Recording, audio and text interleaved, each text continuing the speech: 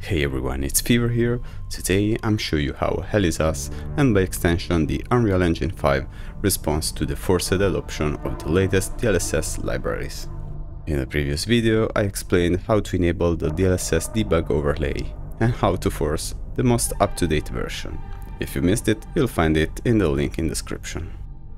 I can already tell you that the updated DLSS delivers surprisingly good quality, even on the lowest presets, but you'll see that by yourself in the footage. I won't take up any more of your time, if you enjoyed the video feel free to leave a like and subscribe to the channel, all extra information are in the description.